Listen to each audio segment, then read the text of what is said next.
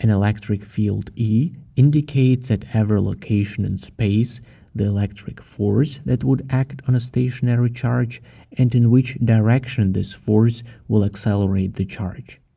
The electric field can be visualized using field lines.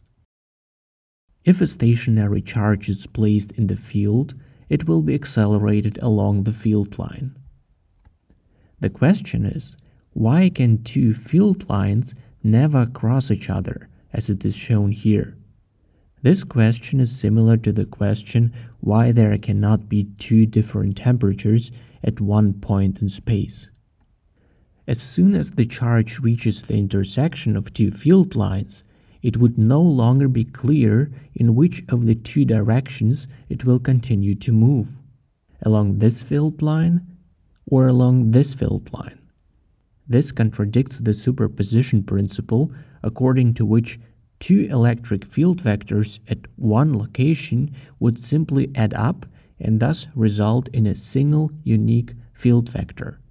Thus, there would be no crossing point of the field lines and the charge would move in the direction of the resulting force vector.